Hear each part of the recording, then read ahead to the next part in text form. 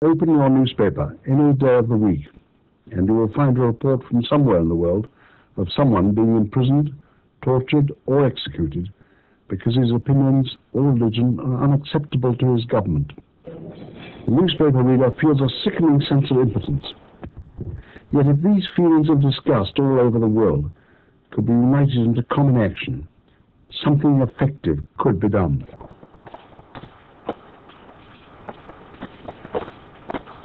This is where the first office of Amnesty International was set up. The initial publicity after the 28th of May was more successful than we dared hope. The basement room overflowed with material, and upstairs we continued to receive letters from all over the world, letters of support and encouragement. I was spurred into that by reading an article about how two Portuguese students had been uh, arrested and sentenced to imprisonment for drinking a toast to liberty in a Lisbon restaurant. That so outraged me at the time, and then I walked up the steps of St. Martin's in the Fields Church out of the underground and went in to see what could really be done effectively to mobilize world opinion.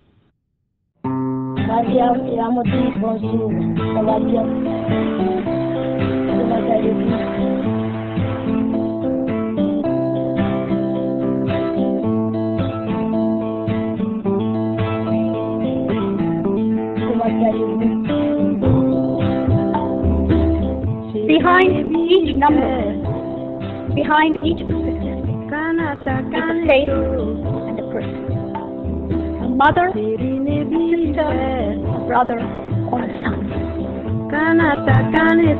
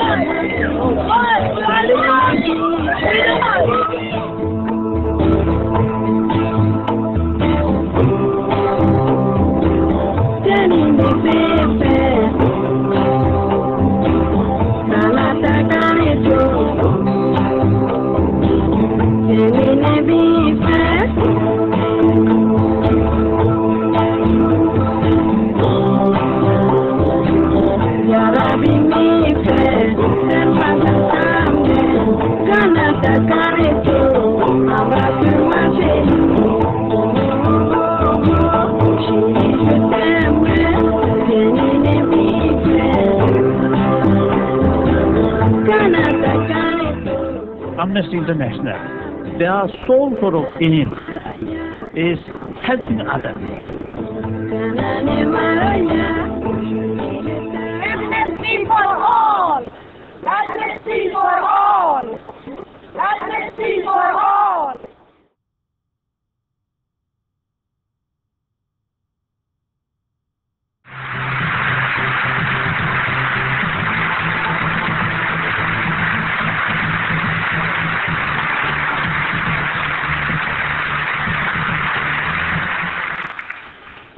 Most gratefully accept this award for Amnesty's million members and supporters around the world.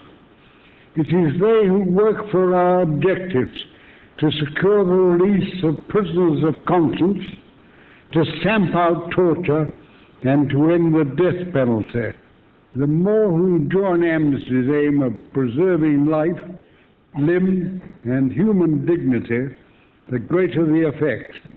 I will not be around to see the culmination of this end, but I hope my grandchildren will.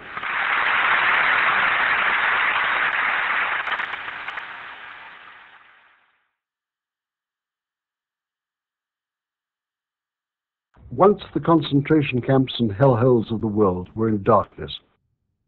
Now they are lit by the light of the amnesty candle. Better light a candle than curse the darkness.